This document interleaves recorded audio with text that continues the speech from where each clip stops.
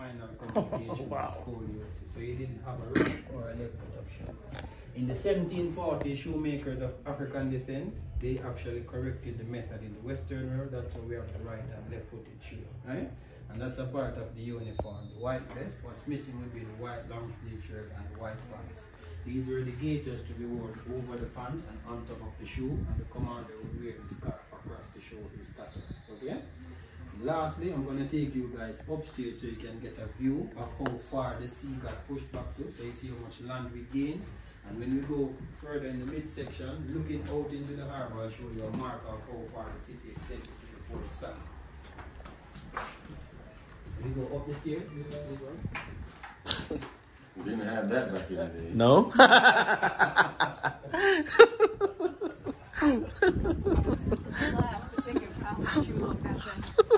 yeah, right?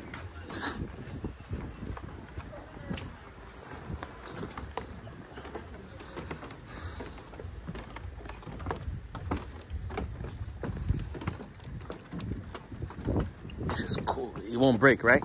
No. You sure? We restore them ever so often. As I told you, see, if, we didn't get, if we didn't get licensed to be a tourist Oh, site, shit. we didn't get licensed to be a tourist site, we Mhm. we couldn't Okay, okay. All right, look further out. Look how far the sea is today. See it? And ago it used to be right here. See that white patch of sand in the sea? That's one of about nine islands off the coast. That one is called Rackham Cay. So you see Calico Jack Rackham, after being executed in places, on the island. To show other pirates that if they refuse to sign letters of marque and become buccaneers, that's what will happen. What's our sport or residents nicknamed the island Bald Head Key because it has no trees on it. So majority of them have trees on it. It also disappears or when the tides are, are high, you can't see it actually. So if you look beside it, you see that boat wreckage there. Over seven years ago, a couple were coming from Night Sea and there are there are markers in the sea. Like that's where ships come from overseas to enter the harbor. So you have green markers on that end and inside the harbor here you have red markers. So for large vessels they sail outside red markers, inside green markers. So you see that small vessel, it sails inside the green marker and it's right underneath the red side. That's why I was explaining that you can't go to several of those islands because a lot of reefs are around here. So Lime Cay would be the ideal island to go, it's more accessible, right? Look into the harbor here, no? You're looking for a red marker that's floating. Boy, A red see? what? Yeah, Red see. marker. Yeah, yeah, yeah. That's so far the city extended to before the 1692 earthquake. So before that first earthquake, the landmass went to the red marker and then picture 33 acres of land from that marker going straight across the Kingston. So when you're heading back to Kingston, anywhere you see those markers on that side, it's a permitted section to show. So you see large, you see large vessels, they cannot sail inside the red marker because they're gonna run on the sunken city. So Mm. if you dive there with the proper tools to get past the silting, you will find sunken streets, churches, taverns, shops, forts, marketplaces, and houses. That's the sunken city right there. And then from here, I'm going to take you Guys, this is really cool. So, so right now we're in the Port Royal, Jamaica, and uh, he's giving us a tour of the city here. There's like a, a city where people used to live before, and now it got hit by three earthquakes and uh, sank down. And uh, there was pirates here and all these situations. So if you ever come to Jamaica, make sure you come and check it out. All right, it's really cool. I mean, you can learn a lot over here and everything. So just come and check it out. All right.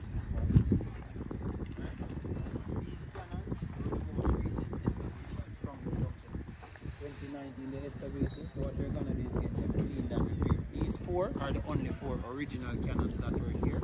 These ones right here. Yeah. So these are real. These are original, yeah. Okay. Those other ones are real as well, but they got retrieved from the five forts that south. And Yeah. back here for viewing and showcasing purposes. And if you're a fan of James Bond, the first James Bond movie, Doctor No, Was shot here. for Doctor No was filmed right up in Fort Charles, Major Town here. The most recent James Bond movie, Time to Die, Fort Charles, Herald Department, both in that. Right? Lastly, to showcase that the sea used to be much closer, this is a mooring ring here. There's another one there. So the ships used to tie ropes here, drop anchors out there to stay afloat. So the sea used to be a stone throw away 300 years ago. Oh yeah, The car is now parked. yeah. Over 300 years ago, I told you it used to be water, right? For real. After 1692's earthquake, the British officials ordered men to manually fill it in. So that's man-made land you parked on. So you see, Oh, whenever we have high tides and heavy rainfall, Yeah. sometimes outside is flooded that no cars can be parked there. oh. Yeah, come on. So when I take you to walk to the Gideons, you guys can't say you never walk on water before. Right? If you remember my name, it's Andrew. That's one of the names of Jesus' disciples. So you'll be in good hands while walking on water. This guy's good. Make a right. Oh man. Guys, you gotta come check him out. If y'all ever come to Jamaica, man, make sure to come to Port Royal, alright? These these are original, untreated. These are brought here from Belize in 1953. 1953 is two years after Hurricane Charlie happened in 1951. So that hurricane destroyed this area, lower and upper deck. So these were brought in from Belize in 1953 to reinforce this area, right? And the original cannonball, that's it right there. I showed you the replica one. That one weighs 30. So this is a real one? Yeah, that's the real one. Jamaican about um, No, about no, no. Careful, bro. But this is. Yeah, deep. Yeah, from Belize. This, this, this, this hard. Untreated. Yeah. Hard. yeah. If you want to see the artifacts like the Cooper's axe and axe that the males from Africa used to carve it, you have to go to the museum in Duke Street, Institute of Jamaica's Museum. That's one country. And where you're now standing, this would be 90 miles northeast from Cuba. This is the flagpole staff. So here, these are the lines of latitude and longitude and how you would locate Jamaica. But back then, they had the flagstaff here, upright before the first deck was paved. They have the flagstaff waving the flagpole. So this is where British soldiers brought their trigonometrical items and they were able to calculate and plot routes and how far other Caribbean countries were from this point. So standing here, you are 90 miles northeast from Cuba. When the Spaniards actually came to Jamaica in mm-hmm. 1492, mm-hmm. the Spaniards theory, they believed that the earth was flat, you know. They didn't want to come here, they wanted to go to the East Indies. So they kept on sailing east, east, east, and ended up here. Hence we are called West, West Indies. Indies.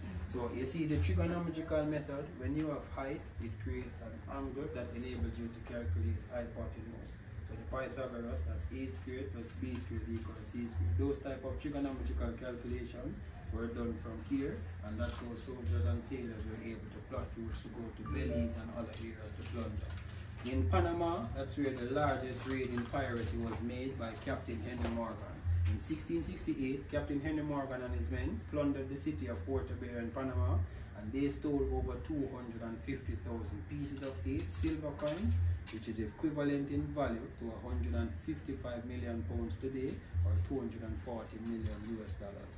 Enough money. So those guys were handling that type of money here as early as the 1660s. Wow. Hence here was the richest and most sinful city in the world, right? In today's time, for outside 75 years, Port Royal has a 0.5% crime rate. So from once the most sinful city in the world to now one of the safest places.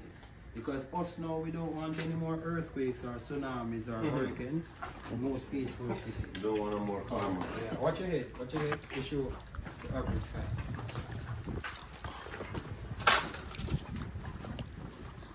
Almond tree, right? Yeah. Yeah. So guys, this is the almond tree that you eat in the stores. This is the real, real tree that it gets off, so you can really like, you can really like pick it and eat it. Oh, you guys see it right here, but they're green now, so.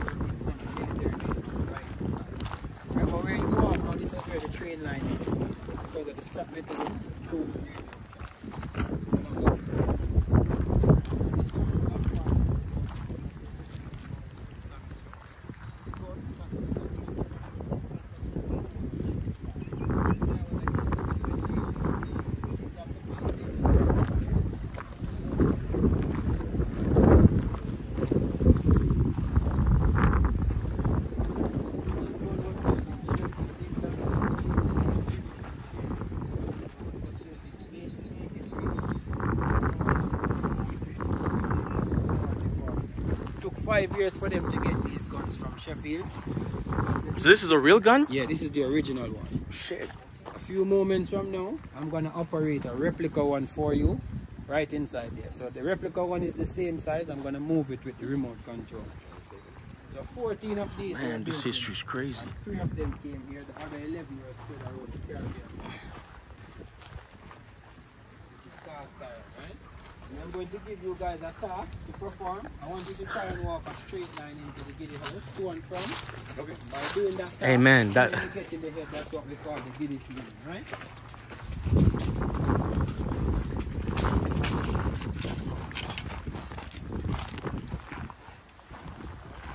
Cross in from the entrance here.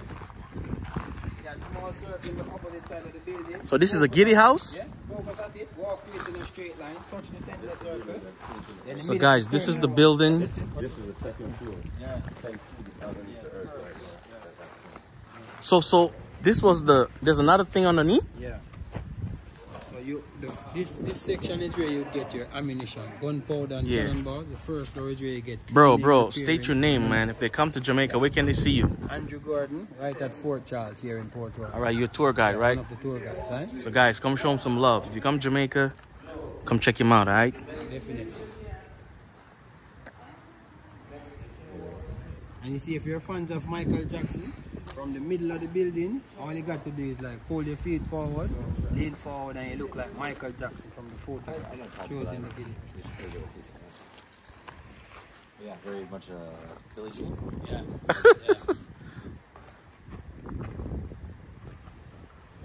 I ain't Or, going. or I should say, smooth criminal. Oh, my bad. Yeah, smooth criminal. I ain't going in there, man. Replace, replace those now. Okay. Prevent it from collapsing. Fall over. Okay. Got you. Alright, so when you guys are finished doing the walk, just join me over the other section. I'm gonna turn on the gun so I can operate it for you guys, right?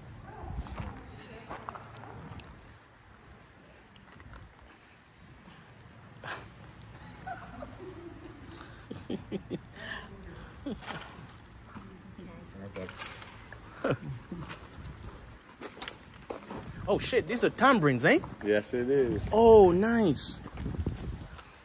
Hey, you know when you turn around and walking back and make your head feel lighter? It does. You have to sit still for a second. Look, it's the same thing. Look, it's the same thing I felt. Look, I'm serious. You would think it's so easy, but it's not. You did it good. That was fun. I ain't going in there, You want man. to start? Do you want me to hold that for you? Nah, hell no. Nah, I'm good. I'm good. uh, no, no, no, no. it looks dizzy inside, eh?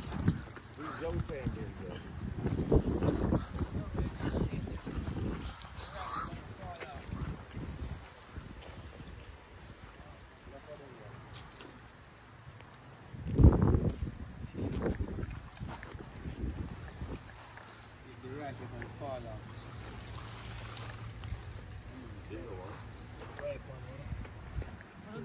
Tamarind. Fruit. So, guys, this is real organic Jamaican tambourines from the tree. No chemicals. It's directly off Shell, break it. the tree. You can eat it. It's a bit sour, sweet. There's a seed inside, so you get off the brown part. Once you get to the seed, dispose it on the ground. What we do in Jamaica, we would add sugar to it. Yeah. it, we call it tamarind ball. In some areas like here, we put white rum in it also. It's tart. Yeah, yeah. It's sour? Yeah. Yeah. Mm, so like you're you guys are Americans, right? You you know about the, the, the Proactiv when you have the pimples, right? Mm-hmm. So when you have measles and, and like pimples on the skin, you can use the leaves from the tamarind tree, boil it, bathe with it, gets rid of the pimples out. Guys, you hear that, right? And you can also use the leaves, boil it, sweeten it with sugar, and drink it as tea. Yeah. Yeah. tea. Mhm. Oh, cool. Really? Yeah. So what we do as Cool. Jamaicans, any type of plant that the goats eat, Mm-hmm. humans can eat it. Also. Okay. Yeah.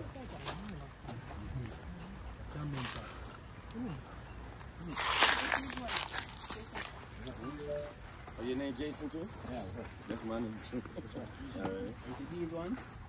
If they are, if you want to shake them and they don't fall down, that means they are not ready. They might just fall down. This one. And these are almonds, right? Yeah, these are almonds. So if you break it, there's something you can eat inside. Yeah, I'm. I'll show you. What we normally do though, we take them up and shake them. Like shake that one. See that? That's the nut Yeah. inside. So you don't want to waste the time to smash one that's empty, so you shake them first. And you feel and you hear. Okay. You know that when you smash that, so there's a section you can smash. Oh, right over here. This is where we get almond from.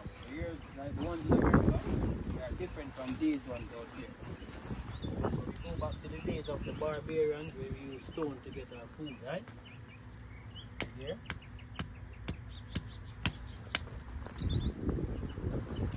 From the tree, man. Nice.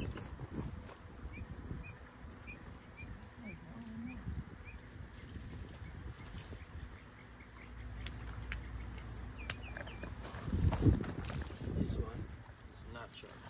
Pull it out. Pull it out. You're not allergic to nuts. No, no, no. As long This you're is there's a good one here. Yeah, that's a good one. So guys, this is almond from the tree, like This- directly from the tree. Over, this one is overcooked. This one is too dry. That's funny. So you one you thought was good is overcooked. This one is, this one is okay. This one can be eaten. So Jamaica, you can have all the natural stuff Yeah. from the tree. That's a good one right here, man. Yeah. This one is also. Wow, you guys. That one good too right there. You can tell the good ones are not. This one's overcooked. Oh, I was wrong. This one's a good one. So you guys can have those. Go for it, guys. They're good. Why not? So this is my little section where I smash them. That one is good. What I'm gonna do now is just operate this cannon for you for the final part. That's a real one or a fake one? It's a replica. Okay. If you have, as kids like 15 years ago, we used to come here and play hide and seek. Because you have underground tunnels beneath us. You have one here for entrance and exit to operate the gun. You have one underground led for ammunition to the building and back.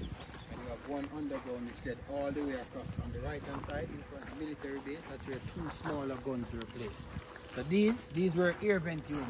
These right here. One, two, and three. Those were air vents which provided soldiers that traveled underground with fresh air. So we are now standing on the roof of the structure. It sank 15 feet. So 1888, these were 15 feet. That used to be. Oh, nice. Oh, it works. Yeah. So originally, the original one was manually operated. We set up this one last year in July. This is now hydraulic operated, right? The original one was manually operated by six guys. So three guys would be on the right, three on the left. They did not have earmuffs. So when they were operating these guns, what they did for ear protection, the horses that they rode on and the cattle that they raised, like the cows and pigs, whenever they remove wax from animals' ears, they Ew. the soldiers up and stuff their ears Ugh. with animals' wax. That's So that's what they disgusting. do in that time. Woof. Now, even though the structure is built in a circular manner, the British did not allow their weapons to fire a full 360 degrees. Because what would happen if it point that way and fire? That's not smart, right? Mm-hmm. So you see that piece painted black at the back? That was the R. British built that R in case their enemies, French or Spanish, if they captured the gun, they couldn't destroy the city. They Oh. could only fire 180 degrees where they came from as enemies. Huh. And the metal rings had some thick chains that connected to the gun and held it intact because of the recoil the gun had. So, Oh. yeah, These rings are all uh, dampeners. yeah. And then What's a what? Depener? Holding the recoil. Yeah, hold Okay. the Yeah, so you see this? This is the original holding point for the cannon. So we took it out last year in July. And it was- it was the holding report. That's a real one, I think. Yeah. So the turning point for the third. It's really cool, man. May I ask you guys where's the next stop for you after the tour here? To the beach, man. The L Yeah. To the beach. there is losing land, you know. Yeah. so- So while we are gaining land here, over there is losing land. In Hellshire? Yeah. Oh, yeah? Getting small. Yeah. Erosion takes place there. Every five to nine years, we gain land because of deposition. Oh, yeah? Yeah. Guys, Jamaica is beautiful, man. Look at this. This is like amazing out here. If y'all come to Jamaica, man, make sure you come to Port Royal and come check this guy out. He's really cool. He's gonna show you some cool stuff over here. Just outside, 2,000 persons living Port Royal today. Everybody knows everybody, right? So, to facilitate the population, we have uh, six bars here. Still the lowest population in the whole island. country has the most churches and bars. So, Very true. Jamaica is known famous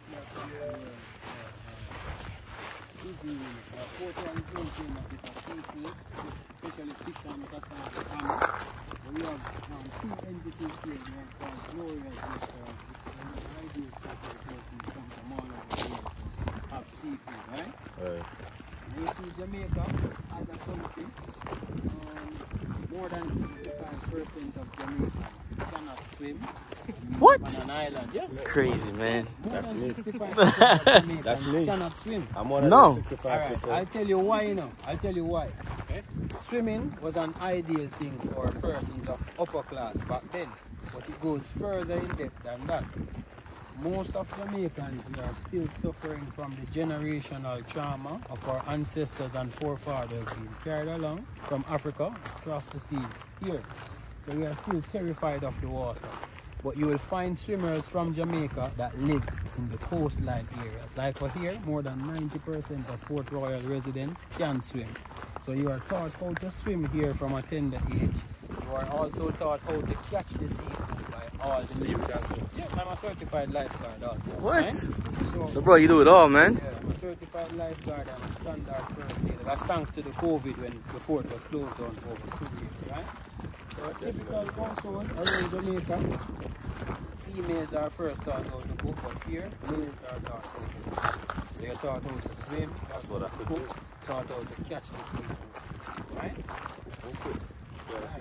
So when you re-enter, remember to watch your head, watch your step. The same entrance gate you took to get in, that will be the exit you need to take out, right? Thank you guys very much. Respect, man. My name is Andrew. Yeah. Enjoy the rest of the day. and you guys have a safe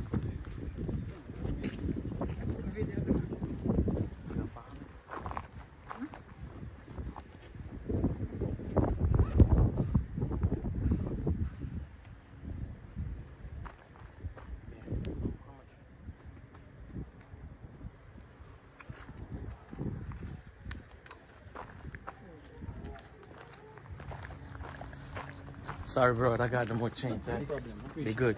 So, take care, man. It was amazing. All right. Be good. Thanks, yeah, man.